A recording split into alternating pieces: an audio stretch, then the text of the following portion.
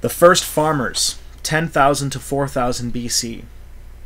People's lives changed greatly with the development of agriculture. Slowly, they discovered how to domesticate animals and began to cultivate plants for crops. The earliest farmers settled nearly 10,000 years ago in the Fertile Crescent in the Middle East. Here, people grew wheat and barley.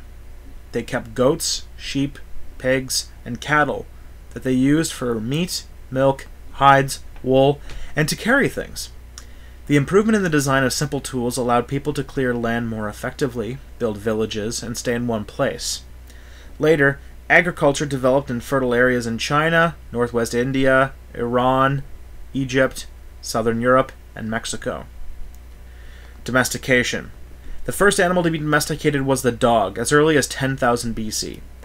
Dogs were used for herding and as night guards. The horse, goat, sheep were also domesticated. Farmers learned how to breed animals in order to change their characteristics. A number of species spread as well. Chickens and pheasants, for example, originated in the Far East. Meanwhile, some animals, such as aurochs, were hunted to extinction. Early civilizations of the Middle East grew up in the Fertile Crescent, an ideal area for farming and settled village life, for trade, and later for building towns. Wheat and barley were crossed with grasses to breed new strains. They were used to make bread, the staple of the human diet in every early civilization. Uh, people first worshipped mother goddesses about 25,000 years ago. They believed that, like the earth, these goddesses gave life to all living things. Nomadic people followed wild herds or moved from season to season. They were they went where the pickings or the weather were best.